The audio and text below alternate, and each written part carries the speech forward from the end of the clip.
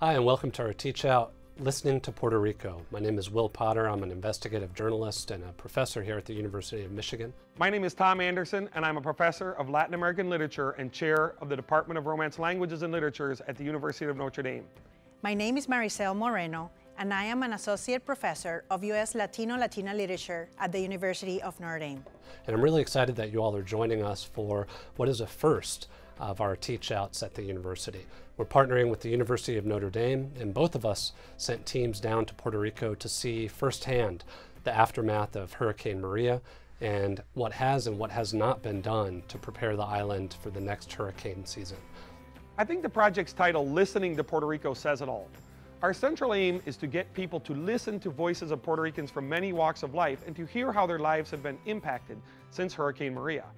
But listening, as I understand it, is not just about hearing the people's words. It also implies taking notice of and acting on what people say. In this teach out, you'll gain a general idea of what Puerto Rico is, a more nuanced understanding of the impact of Hurricane Maria, and inspiration to help promote awareness and action to help the island's reconstruction efforts. What distinguishes these materials from others is the archive of interviews and narratives that we have collected that is, an archive that seeks to represent a diverse group of voices from the people of Puerto Rico about how Hurricane Maria impacted their lives. The spirit of this teach out and of this collaboration is to bring you voices that you probably haven't heard before.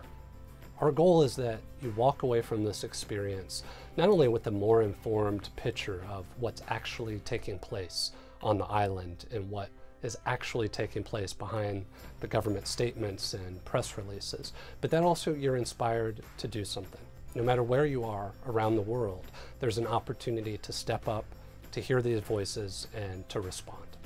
And take action in whatever way you can by spreading the word, by sharing your knowledge, by donating to an established and reputable charity working in Puerto Rico, or by going to the island and doing something meaningful and worthwhile. I also hope that the audience can witness how Puerto Ricans have worked relentlessly to lift themselves up and to rebuild Puerto Rico since the devastation caused by Hurricane Maria. Many of those efforts started before the hurricane, but intensified since then. Most of the progress has been made by the people, given the inadequate responses from both the island and the federal U.S. governments. Puerto Ricans lifting the island need help. We want people to feel engaged with the subject and to participate in rebuilding Puerto Rico. But in order to accomplish that, we first need to listen to the people.